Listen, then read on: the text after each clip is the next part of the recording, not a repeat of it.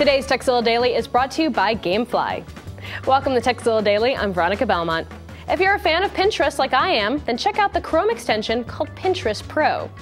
Installing this extension gives you two major benefits. First, you can right click on any image on the web and then select Pin to Pinterest. This is even faster than using the regular toolbar shortcut, which I really like. Second, you can zoom into the full size of the original photo when you browse on the Pinterest website itself. This way, you don't have to click through to see the full image.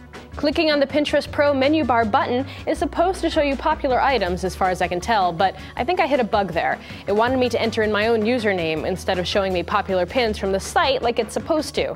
Otherwise, it's a very nice Pinterest addition. Now, if you've got a tip for us to pass along to the rest of the TZ crew, email us at tekzilla at revision3.com. And as always, tekzilla.com. It's the place to find more tips, tricks, product reviews, and how-tos. Gamefly is the place to rent video games. And the best part is that you can keep those games for as long as you like, without fear of retribution in the form of crazy late fees. So take your time finishing that game. Gamefly's got you covered. But if you do want to buy the game you're renting, just click Keep It on the website and they'll send along the box and manuals at no charge to you. TZ Daily fans get a 15-day free trial when they go to www.gamefly.com/tdt.